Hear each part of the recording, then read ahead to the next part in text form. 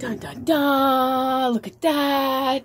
Did that! So things like this could happen! Oh my god! Oh my god! Oh my god! Hello!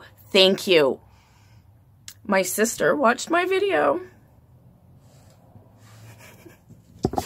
and bought me some salt. Why are you making faces at me? I'm so happy. It was her idea to make the video right now. And she's totally right. That is the way to do things, right? You know, like unboxing and stuff.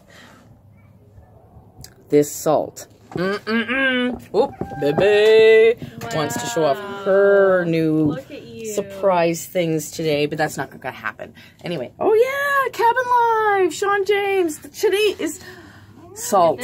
If you've got $50 Canadian, and even if you if you have $50 Canadian and you have enough salt, send it to someone you love.